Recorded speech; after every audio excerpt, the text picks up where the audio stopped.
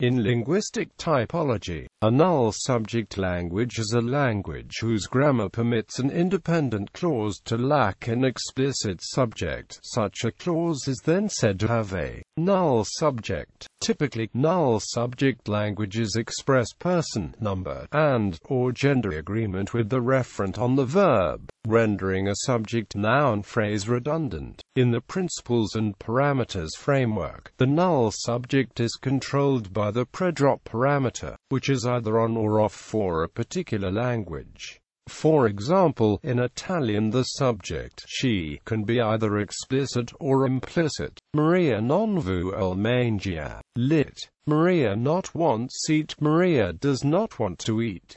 Non vuol mangiare. Lit. Subject not wants eat, does not want to eat. The subject he of the second sentence is only implied in Italian. English and French, on the other hand, require an explicit subject in this sentence. Of the thousands of languages in the world, a considerable number are null subject languages, from a wide diversity of unrelated language families. They include Albanian, Arabic, Basque, Berber, Catalan, Chinese, Estonian, Finnish, Greek, Hebrew, Hindi, Hungarian, Italian, Romanian, Japanese, Korean, Persian, Portuguese, Punjabi, Polish, Serbian and other Slavic languages, Spanish, Tamil and Turkish languages, as well as most languages related to these, and many others still. In fact it is rather non-prodrop that is an areal feature of standard average European including French, German, and English, characterization action.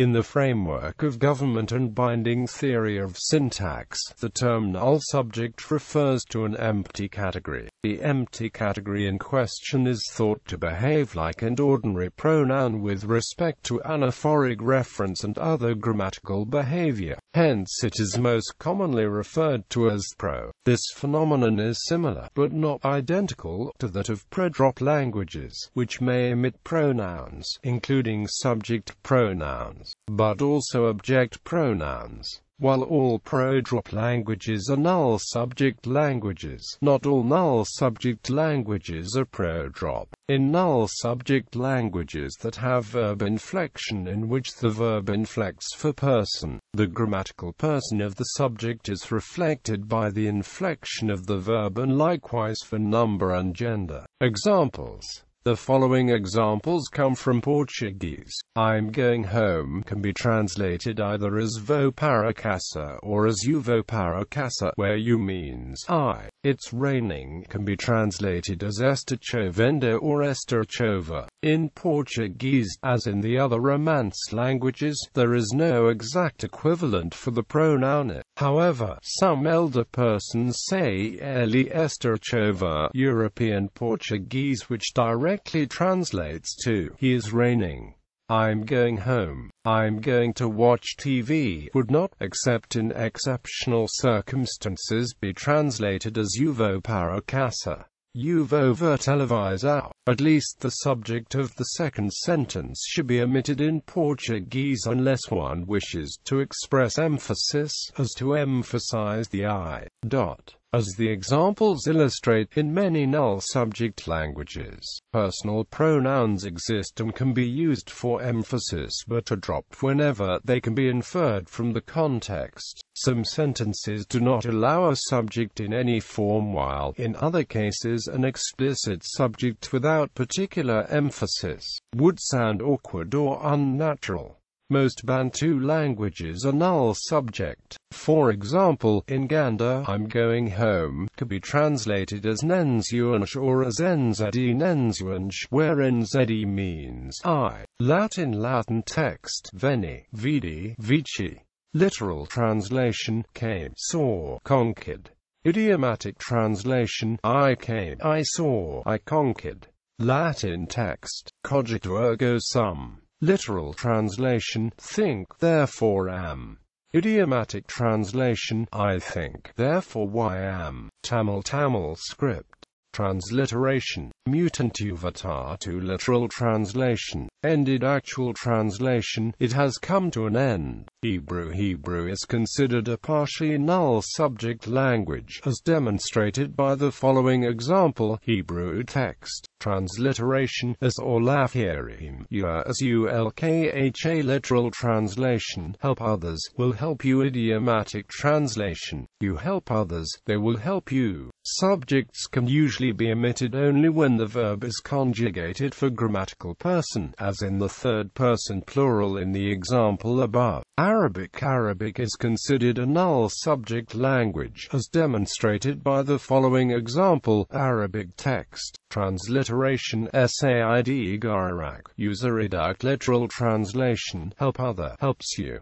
Idiomatic translation, you help another, he helps you. Japanese. Japanese and several other null subject languages are topic prominent languages. Some of these languages require an express topic in order for sentences to make sense. In Japanese, for example, it is possible to start a sentence with a topic marked by the particle wa, and in subsequent sentences leave the topic unstated, as it is understood to remain the same, until another one is either explicitly or implicitly introduced. For example, in the second sentence below, the subject is not expressed again but left implicit. In other cases, the topic can be changed without being explicitly stated, as in the following example, where the topic changes implicitly from today to I. Spanish in Spanish, as with Latin and most Romance languages, the subject is encoded in the verb conjugation. Pronoun use is not obligatory. The vamos a playa, we go to the beach. Eres mi amiga, you are my friend. No son, SOISB and Vanidosaki, you are not welcome here. Están durmiendo, they are asleep. Necesito ayuda, I need help. Está en su habitation. He is in his bedroom. Está cansada. She is tired. Dot. In Spanish, for the most part one may choose whether to use the subject or not. Generally if a subject is provided, it is either for clarity or for emphasis. Sentences with a null subject are used more frequently than sentences with a subject. In some cases, it is even necessary to skip the subject to create a grammatically correct sentence. Catalan in Catalan, as in Spanish, Portuguese, Galician, etc. The subject is also encoded in the verb conjugation. Pronoun use is not obligatory. An la playa, we go to the beach. Etis la mevra amiga, you are my friend. No son, su benvingatsaki, you are not welcome here. Están dormant, they are asleep. Necesito ayuda, I need help. Es la habitatio, he is in his bedroom.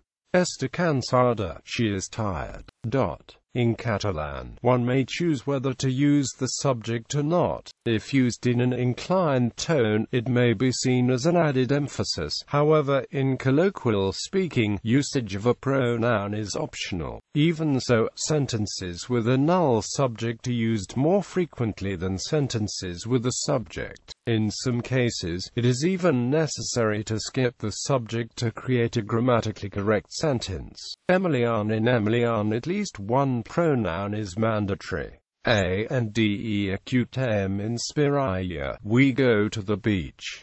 At mi amiga, you are my friend. ANC minga benuche, you are not welcome here. You not not welcome here. I Andrea Dermia, they are asleep. They are behind to sleep. I Andrea Dermia, cats are asleep. They are behind to sleep. A gho bison, diajut, I need help. Elian de la Sicambra, he is in his bedroom. He is in of the his bedroom. Elian de la Sicambra, John is in his bedroom. He is in of the his bedroom. Ellie Stufa, she is tired.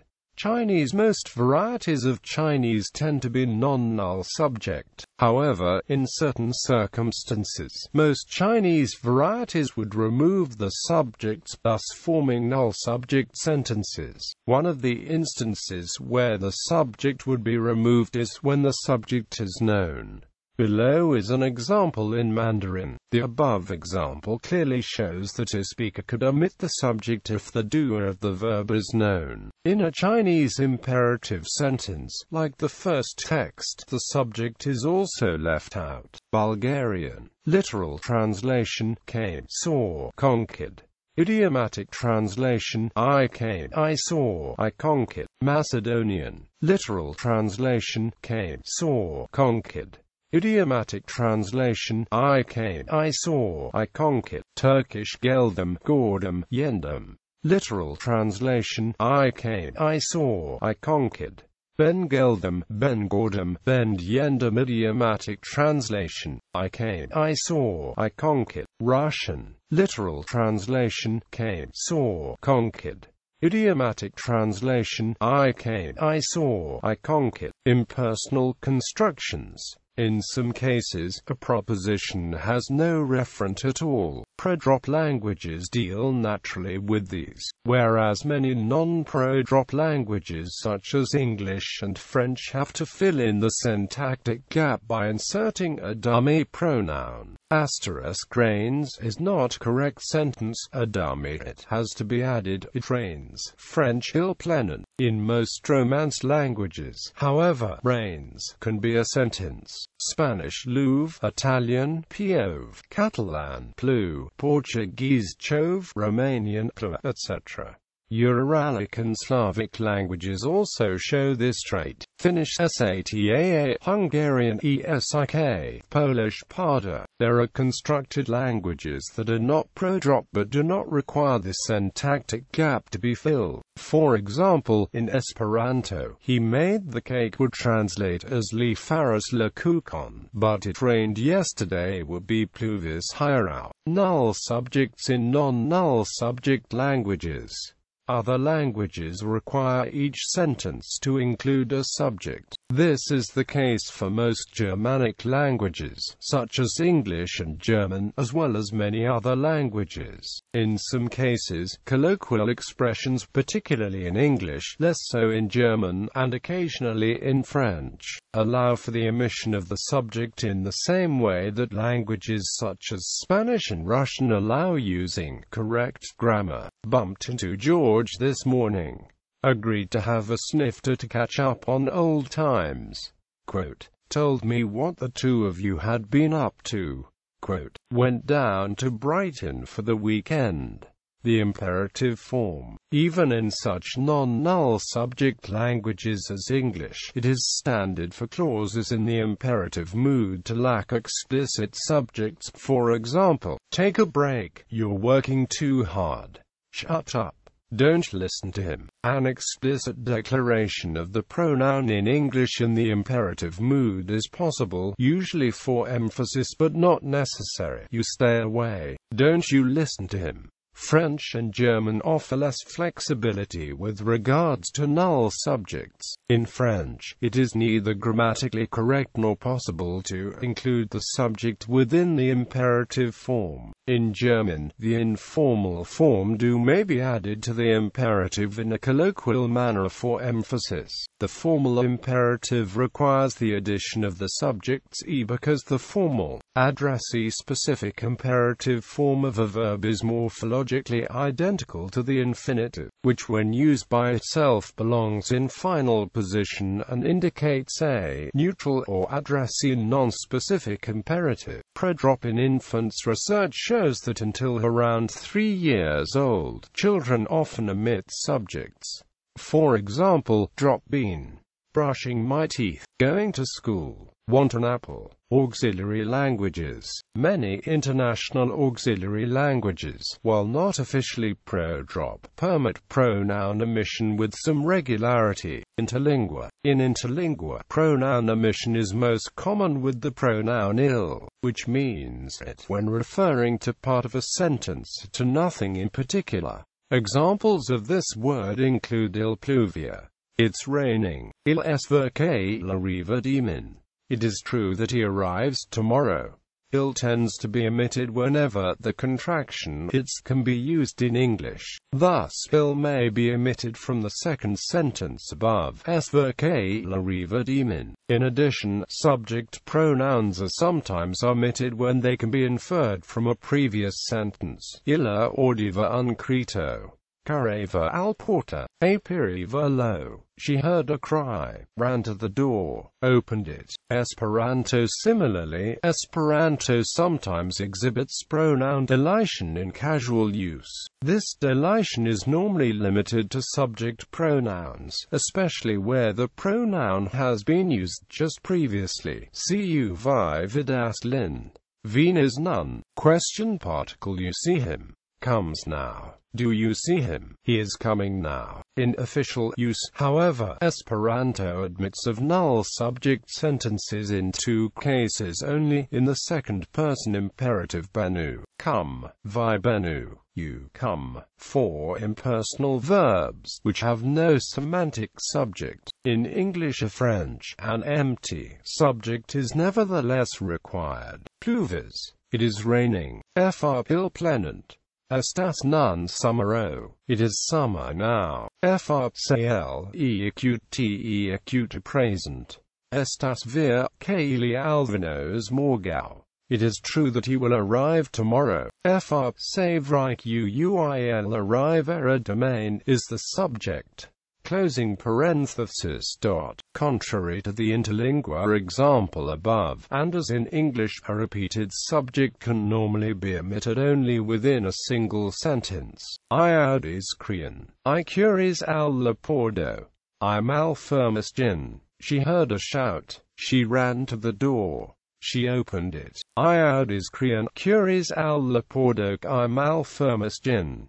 She heard a shout, ran to the door and opened it. Bibliography. P. Barbosa, Melduarte, and M. Kato. Null subjects in European and Brazilian Portuguese. Journal of Portuguese Linguistics. Opening parenthesis, closing parenthesis. Dot. Cook, Manuela, A Theory for the Interpretation of Forms of Address in the Portuguese Language. Hispania, Volume 80, N3A80SP, USA. Chomsky, N. Dot. Lectures on Government and Binding, The Pisa Lectures. Holland, Foris Publications, reprint. 7th edition, Berlin and New York, Mouton de Gruyter, 1993.